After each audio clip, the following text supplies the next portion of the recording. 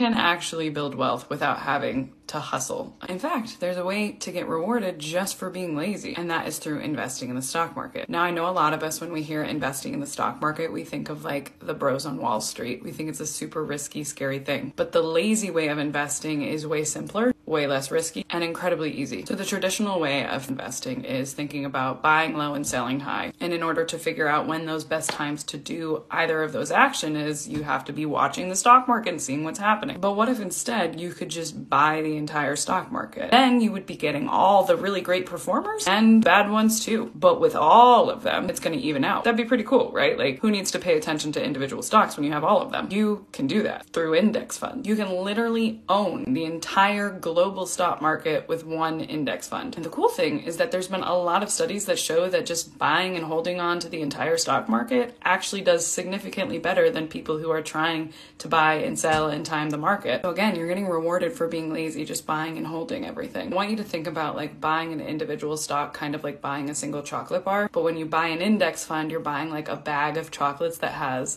thousands of different chocolates inside of it. Easy, effective, and you can spend the rest of your time doing stuff you actually care about.